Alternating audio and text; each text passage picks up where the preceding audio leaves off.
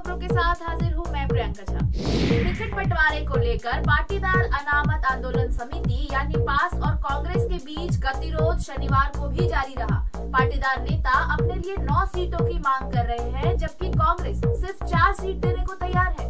पास से जुड़े एक शीर्ष सूत्र के मुताबिक उन्होंने कांग्रेस के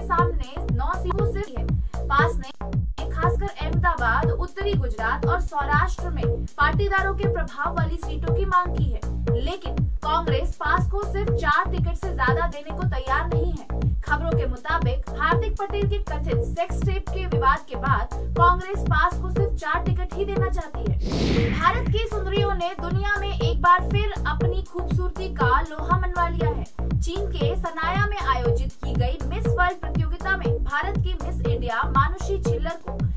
वर्ल्ड 2017 घोषित किया गया।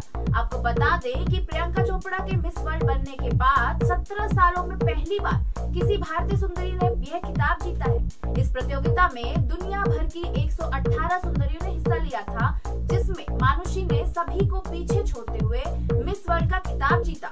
मिस वर्ल्ड मानुषी हरियाणा के सोनीपत की रहने वाली है। पाकिस्तान में ट्विटर पर भारत की एक बेटी की तस्वीर के साथ छेड़खानी की नापाक कोशिशों को जोरदार झटका लगा है। लड़की की शिकायत पर पाकिस्तान डिफेंस नाम का वेरीफाइड ट्विटर हैंडल सस्पेंड कर दिया गया है। दरअसल, इस पाकिस्तानी ट्विटर हैंडल ने कवलप्रीत कौर नाम की भारतीय स्टूडेंट की एक फोटोशॉप तस्वीर का इस्तेमाल करके भारत की छवि को धूमिल करने की कोशिश की थी।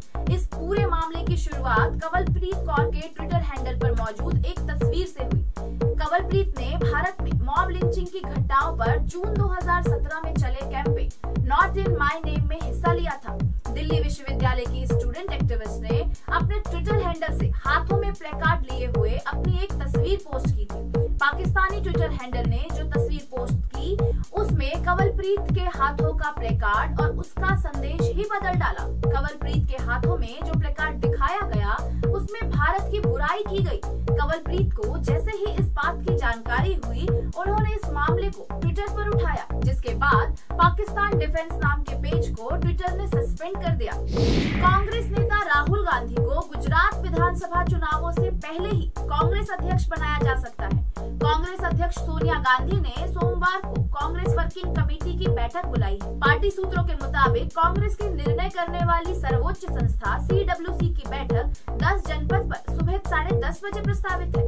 सीडब्ल्यूसी की बैठक, पार्टी उपाध्यक्ष राहुल गांधी के अगला अध्यक्ष बनने का रास्ता साफ़ करेगी। अध्यक्ष पद के लिए राहुल के अकेले उम्मीदवार रहने की भी संभावना है। पार्टी नेताओं का कहना है कि वैसे अध्यक्ष पद के चुनाव के कार्यक्रम की मंजूरी के लिए सीडब्ल्यूसी की औपचारिक बैठक बुलाने की ज़रूरत नहीं है। लेकिन सोनिया गांधी ने पार्टी की निर्णय करने वाली सर्वोच्च संस्था की मंजूरी लेने का फैसला किया है। फ़िल्म पद्मावती की रिलीज़ को लेकर चल रहे विवाद और सस्पेंस के बीच राजस्थान की मुख्यमंत्री वसुंधरा राजे ने केंद्र सरकार को खत लिखा है। सीएम राजे ने सूचना एवं प्रसारण मंत्री स्मृति ईरानी को पत्र लिखकर आग्रह किया है कि पद्मावती फ़िल्म तब तक रिलीज़ न हो जब तक इसमें ज़रूरी बदलाव नहीं कर दिए जाए, ताकि किसी भी समुदाय की भावनाओं को ठेस न पहुँचे। मुख्यमंत्री ने पत्र में लिखा है कि इस संबंध में सेंसर बोर्ड को भी फ़िल्म प्रमाणित करने से पहले इसके सभी संभावित नतीजों पर विचार करना चाहिए।